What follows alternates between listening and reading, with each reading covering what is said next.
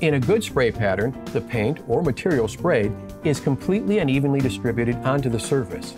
In this video, we'll cover several techniques you can use to ensure a quality finish. In this section, we will discuss spray patterns, spray techniques.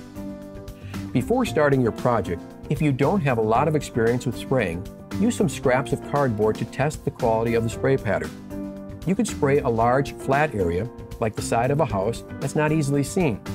Or you can practice with water. Just make sure you let the surface dry completely before applying your paint. As you're practicing, start at the minimum spray pressure and slowly increase the pressure until a good spray pattern is achieved. This is a good spray pattern. Notice that there are no runs in the pattern and that the pattern itself is smooth and even. If your pattern has what are known as fingers or tails, an uneven finish, such as this, then the pressure should be increased.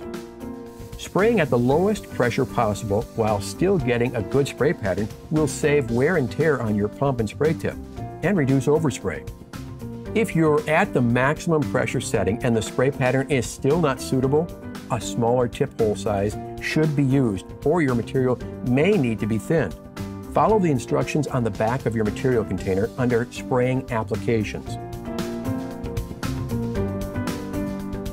The gun should be held approximately 12 inches from the surface and aimed straight at the surface. While moving vertically or horizontally, the gun should remain at a consistent distance from the surface. Fanning the gun to direct the spray at an angle causes an uneven finish. Flex your wrist at the beginning and end of each stroke to maintain an even coat. Don't spray at an angle. Keep the gun perpendicular to the surface. To practice proper gun positioning without spraying, try moving the gun and holding it perpendicular to the surface, only about 2 inches from the wall. Notice how at the beginning and end of each stroke, you'll flex your wrist to keep the gun square to the surface. Move out to 12 inches for additional practice.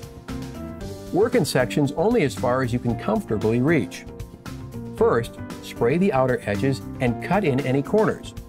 Then, aim the gun at the edge of the previous spray pass so the spray pattern is actually overlapping each pass by one half. Trigger the gun after starting each spray pass and release before ending the spray pass. Your arm should be moving when the trigger is pulled and released. This will create a nice fuzzy edge around the entire spray pattern so your next pass will blend into the previous pass. Rotating the guard changes the pattern to either vertical or horizontal orientations.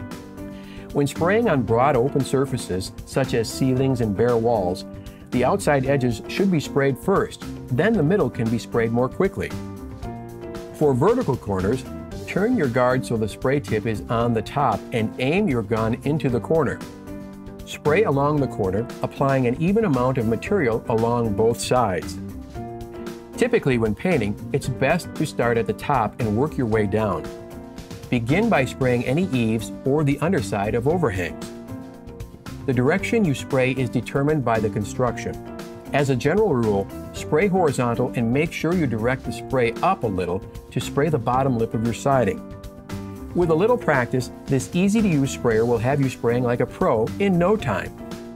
Remember, point the gun straight at the wall without tilting up or down or angling left or right. Start moving the gun before and after you trigger move at a consistent speed, and when spraying, overlap the prior spray pass by 50%. Allow enough time for paint to dry before removing tape from your trim. This will result in crisp, clean lines.